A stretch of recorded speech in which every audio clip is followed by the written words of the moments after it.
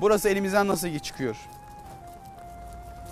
Artık Osmanlı'nın son dönemi savaşlar geçirmiş, içeride fitneler derken artık İngilizler buraya saldıracak ve içeride kışkırttıkları, kandırdıkları, aldattıkları, kendi ajanlarına yönlendikleri insanlarla burada Medine'de karışıklık çıkaracaklardır. Ve Türkiye'den haber gelir.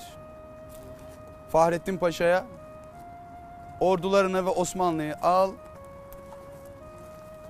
Buradan çık. Yani direkt teslim et. Fahrettin Paşa bu mektubu alınca ne yapar? Bu emre itaat etmez. Hayır der.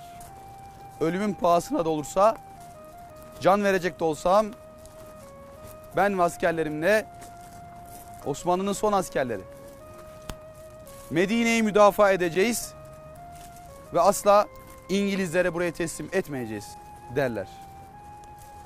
Osmanlı'dan buraya gelecek yardım gemileri, silahlar var. İşte Yambu üzerinden, Alim İslam'dan gelecek yardımlar. Cidde üzerinden, Medine yolu üzerinden. Ama maalesef bunlar hep engellenir. Önde İngilizler keser ve abluka altına alınırlar.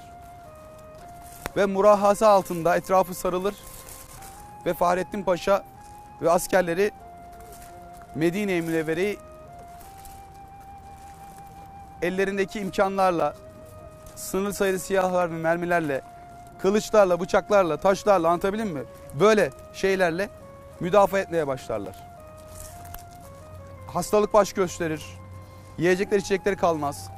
Sonra Allah onlara çekirge gönderir. Ve onlar çekirge yiyerekten mücadelelerine devam ederler. Medine'ye münevvere kaybedilir ve İngilizlere teslim edilir.